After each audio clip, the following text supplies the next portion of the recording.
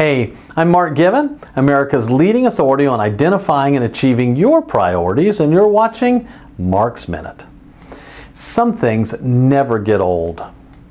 Mid December to mid January is thinking, reading, writing, new goal and priority setting, hanging with the kids and grandkids, celebrating the holidays, enjoying life, and a wonderfully productive time for me. It never gets old.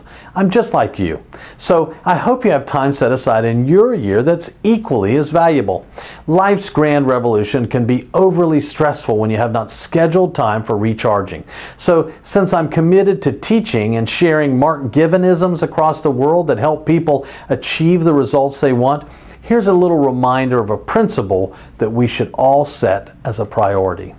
You can never share enough patience, kindness, goodwill, wisdom, courtesy, respect, appreciation, happiness, love, and joy with everyone and anyone you meet.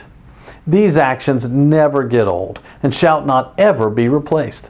I hope you're offering and accepting these important principles each and every day. When you do, they will recharge your attitude and your life, and the feelings you'll have will never get old. So thanks for watching. You can also read years of Mark's Minutes on my blog at markgiven.com. Have a great day.